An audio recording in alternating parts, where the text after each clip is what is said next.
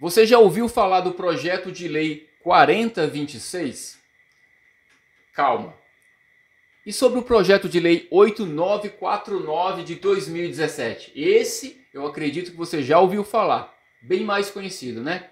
Pois fiquem sabendo, fiquem sabendo na verdade, tanto o projeto 4026 quanto o projeto 8949, eles estão juntinhos, tá? Eles tratam do mesmo objetivo. Que objetivo é esse, Milton? O que é que tem de tão importante nesses dois projetos?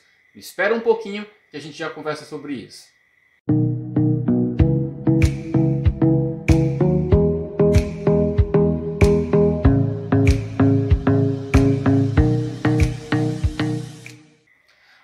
Fala meus amigos, sejam muito, mas muito bem-vindos ao nosso canal Milton Dantunes mais uma vez. Gente, é sempre um prazer enorme diariamente estar aqui juntinho com vocês, esclarecendo dúvidas, trazendo muita informação, dando direcionamento para toda e qualquer pauta que possa beneficiar você direta ou indiretamente. Você é quem? Você é aposentado, pensionista, servidor público, você pessoa com deficiência. Nosso canal vem se dedicando muito a cada dia para te oferecer o melhor através das nossas lutas por emendas, por projetos de lei, por qualquer benefício, seja ele já adquirido para que se possa ser respeitado esse direito ou buscando novas possibilidades de beneficiar cada um de vocês. Mas esse trabalho ele precisa ser feito em parceria aqui do canal junto com você. E como é que a gente pode fazer isso na prática? Através do teu compartilhamento, da tua inscrição aqui nesse canal, de um like que você dá, de um comentário que você faz. Foram essas ações que desde o ano passado fizeram com que chegássemos até aqui e nos fortalecêssemos a cada dia dando visibilidade para você. Eu quero falar sobre o projeto 4026 e o 8949. Milton, do que se trata esses projetos? Qual a importância dele para mim? A importância principalmente para você, pessoa aposentada por invalidez, olha só, fique atento, tá? E também aquelas pessoas que uh, tem o benefício de prestação continuada, o BPC. Vocês, esses dois grupos, são grupos que normalmente passam por reavaliações periciais junto ao INSS.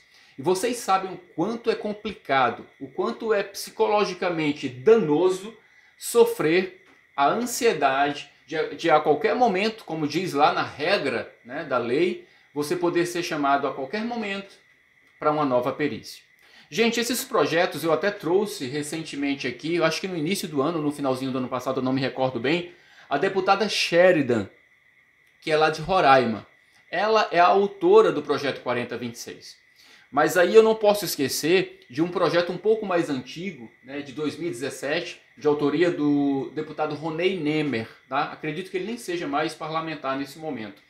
Uh, a gente está buscando, inclusive, trazer novamente aqui ao canal tanto a deputada Sheridan, como também os novos é, responsáveis pela tramitação, né, seja uh, o próprio relator do projeto 8949, tá? já que o autor não tem como vir aqui agora falar sobre esse projeto. Mas aí a gente vai trazer é, o relator ou a relatora responsável.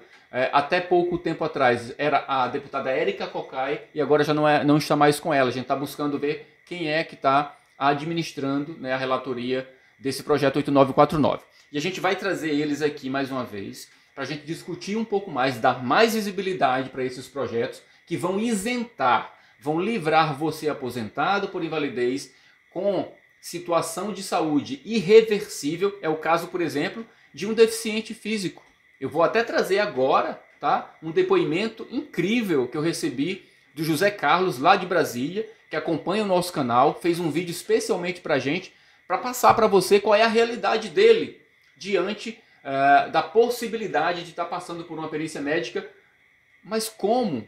Se a situação dele é irreversível, ele é cadeirante. E aí a gente traz esse depoimento para que você possa se identificar com isso. Então, se o teu caso, se a tua situação é idêntica ou parecida com a do José Carlos, você vai entender qual é a importância do 8949 assim como o 4026 para a tua vida e para a vida da tua família também. Então, gente, é muito importante que a gente dê o máximo de visibilidade a materiais, a vídeos, né, a instruções, orientações como essa. E eu conto com a tua participação, tá? Então, faz isso nesse momento. Fique atento ao depoimento agora de José Carlos. Enquanto isso, vai compartilhando, vai se inscrevendo no canal, vai lembrando de alguém, poxa vida, fulano ou cicrano é aposentado por invalidez, alguém da tua família, algum vizinho, faz isso, pessoal. Cada ação, cada ato de bondade que você faz, pode ter certeza, o universo manda tudo isso de volta para você, tá bom? Eu conto com a tua contribuição nesse trabalho e fica atento. Diariamente a gente vem atualizando você sobre essas pautas e tantas outras tão quão importantes essa que eu apresento para vocês hoje nesse momento, tá? Beijo no coração, fica ligadinho, ó. Preste atenção agora até o finalzinho. Escuta nos mínimos detalhes o que é que o José Carlos fala. Gente, é, é, é, é muito sensível. A gente precisa abrir o coração, arregalar os olhos, os ouvidos, para a gente sentir, para a gente tentar se pôr né, na dor do outro e entender que a dor do outro amanhã pode ser a minha dor também. Então é sempre importante o exercício da sensibilidade. É sempre importante, tá? Fica atento a isso. Tchau, tchau. Bom dia a todos. Vou tentar ser o mais breve possível aqui nesse pequeno vídeo aqui que eu estou fazendo. É...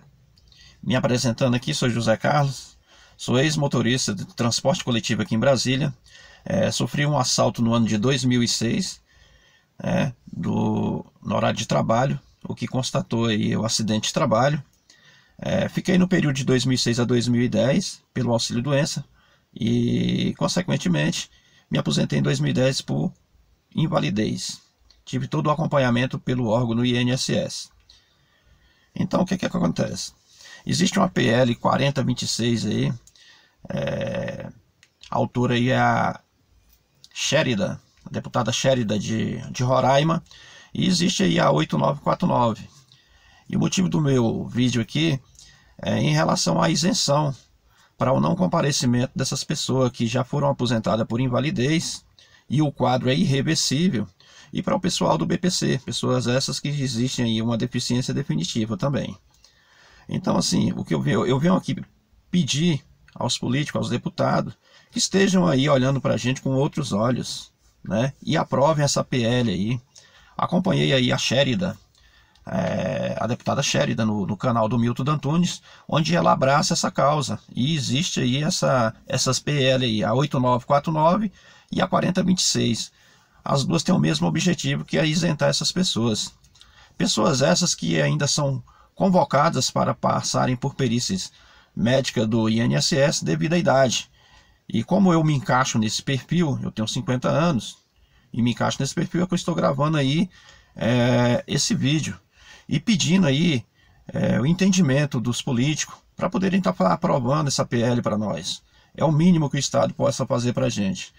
É, na verdade, isso aqui é um dano irreparável. Eu não nasci cadeirante. Eu era um trabalhador, correto? Que infelizmente eu tive o meu direito de ir e vir interrompido. Eu não ando. Eu não ando justamente por conta desse assalto que eu sofri no horário de trabalho. E por ausência do Estado por ausência de segurança. Então, é o mínimo que o Estado pode fazer é isentar a, não somente a minha, é, a, minha, a minha aposentadoria por invalidez, como a de vários de várias pessoas que se encontram na mesma situação minha, pessoas que têm doenças também que não têm cura, são irreversíveis, que já foi constatado por perito, por médico, até porque quando a gente se vai a uma perícia, a gente leva os laudos, que comprova que é irreversível o quadro da gente. Eu fui, eu fui acompanhado, eu fui aprovado pelo próprio INSS, pelo próprio órgão do INSS, pelos peritos do INSS. A questão aí do, do quadro irreversível, a minha paraplegia, o médico que me acompanha, eu tenho um laudo que eu levo.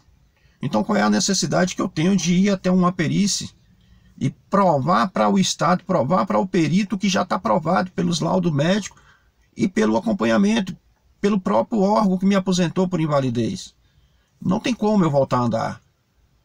Isso aí é um dano irreparável e é o mínimo que a gente está pedindo. Ajude a gente, pelo amor de Deus. Nós precisamos dessa isenção. É muito constrangedor. Você ter que estar tá provando algo que já é provado. Nos ajudem.